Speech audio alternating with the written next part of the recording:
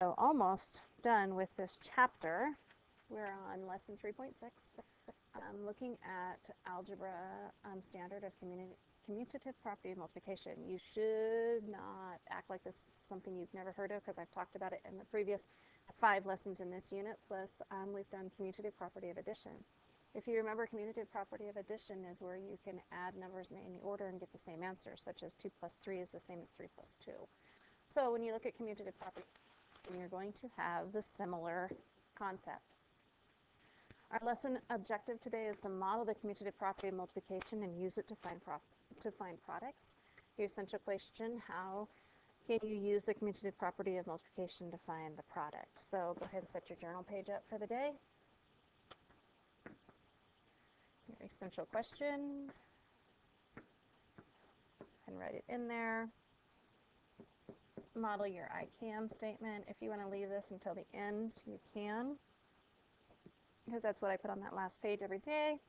And then you have your problem of the day, which we will move to next. So pause the video as you finish filling and setting up your lesson journal entry of the day. Problem of the day, Rosa made a picture graph to show how many hours a week she spent on different activities. This was her key. Each dot equals two hours. How many dots does the three, how many hours does three dots stand for? So you're going to go two, four, and six. Looking at those keys, there's a reason we did those earlier in the year. Okay, you're going to start on your big math book, page 119. And with a story problem of Unlock the Problem, Dave works at the bird store he arranges 15 boxes of bird seed in rows on the shelf. There are two ways he can arrange the, what are the two ways he can arrange the boxes in equal rows? Okay, so they need to equal 15. So if you need to get out the square tiles, you can do that. Um, since it is the numbers 15, it ends in a 5, so you know that you can count by 5s. Looking at the activity, arrange 15 tiles in five equal rows. Okay? Draw a quick picture of your array. I'm going to do a little X's today. It's easier for me. So I have 5, 6, 7, 8, 9, 10, 11, 12, 13, 14, 15. So how many tiles are in each row? You had five rows. How many tiles are in each one? One, two, three. You had three in each row. What multiplication sentence does your array show? You had five rows of, is your multiplication word, 3 equals 15. Suppose Dave arranges the boxes in three equal rows. Draw a quick picture of your array. So we have one, two, three, four, five, 6, 7, 8, 9, 10, 11, 12, 13, 14, 15. Here you have three rows. So how many are in each one? 1, 2, 3, 4, 5. How many tiles are in each row? Is 5 tiles. What multiplication sentence does this array show? Is 3 times 5 equals 15. So two ways Dave can arrange the 15 boxes are blank rows of three, we have five rows of three, or three rows of five. Okay.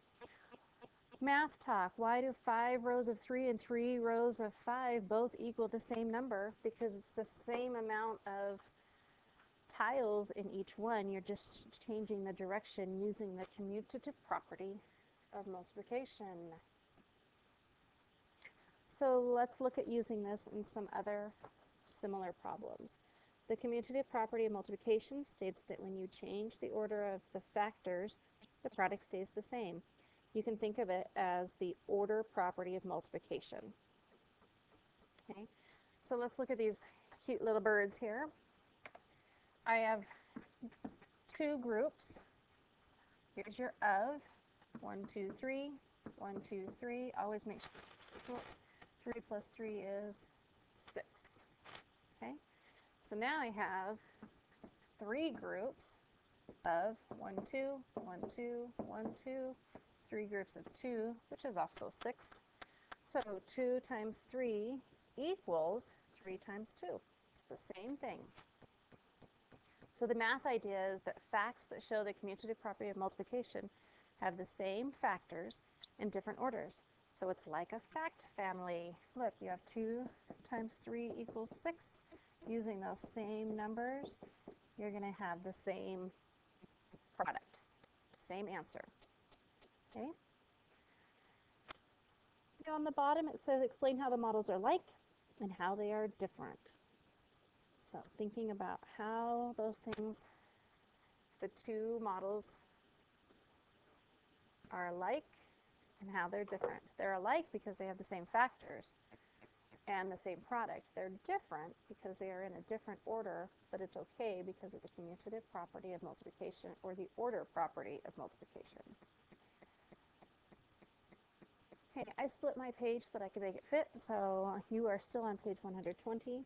You're going to try this. Draw a quick picture on the right that shows the commutative property of multiplication, then complete the multiplication sentences. Okay, so this is groups of four, so they already did the counting part for you. You need to figure out how many groups here. This is hard stuff. 3 times 4, and you know that 4 plus 4 is 8, plus 4 is 12, so 3 times 4 is 12. So now they've already used the 3 that we just found, so now we need to make 4 groups of 3.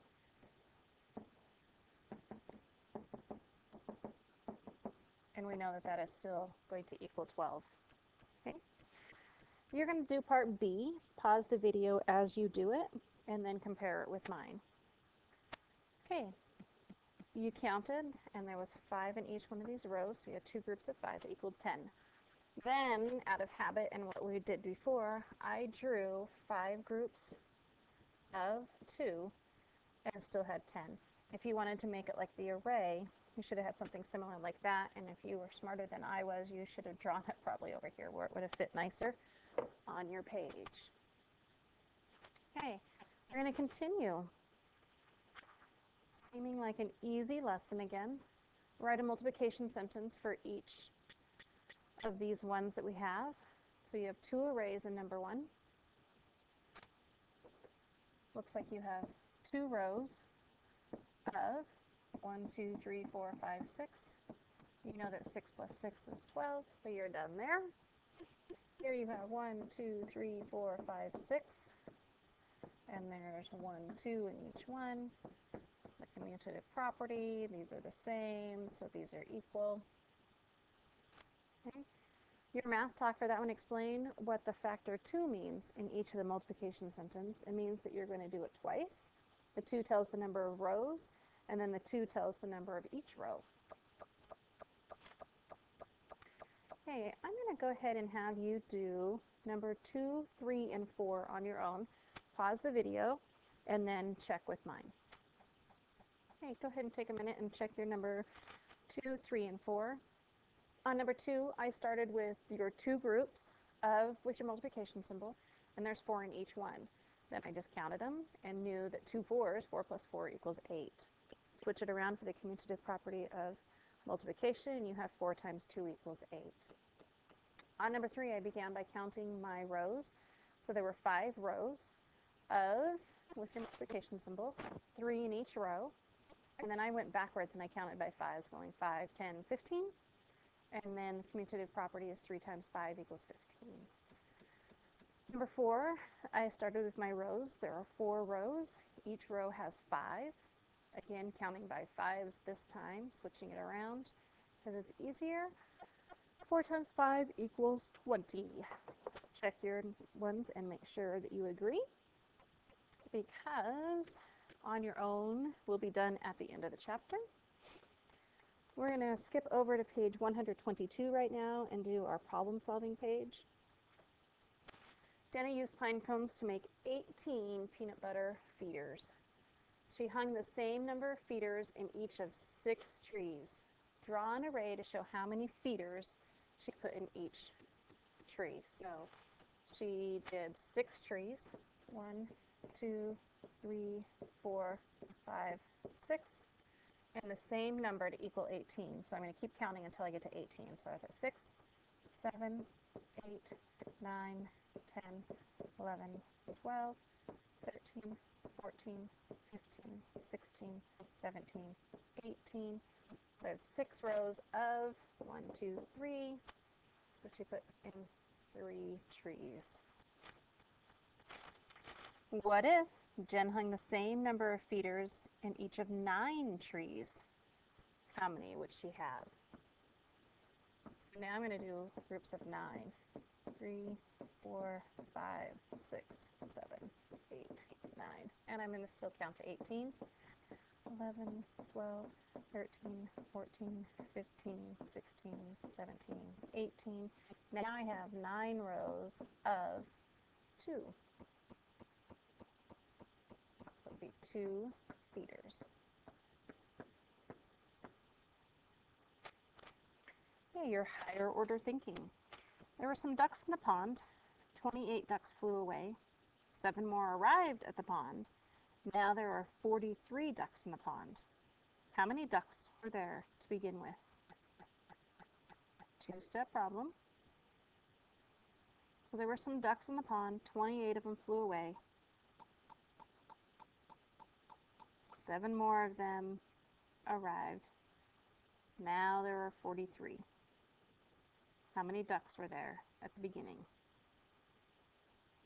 Go ahead and star that one. want to make sure you can figure those out.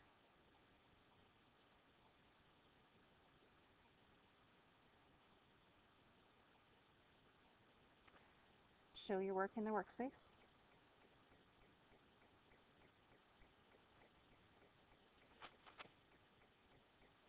Okay, moving on to number 17, write two different word problems about 12 birds to show 2 times 6 and 6 times 2, solve each problem. So you're going to use the factors of 2 and 6 and make me some multiplication story problems. Okay, and, and then do the test prep on the bottom, which is the example of the commutative property. That's what we just did on this. Be careful because number B has the number 1 in it. I'm going to give you a hint, that's not the answer right now. Okay, so which is the example of the commutative property of addition. So now what you need to do is to complete the on your own pages and numbers 16 and 17, 18 in your big math book on page 122. You're going to complete the on your own on page 121 go back and answer your essential question of how you can use the commutative property of multiplication to find the products and make sure that you really can do your I can statement of using those. If you need help, we'll conference about it. Um, star those ones that you might want to talk about with me and make sure you understand the contents of the video before moving on.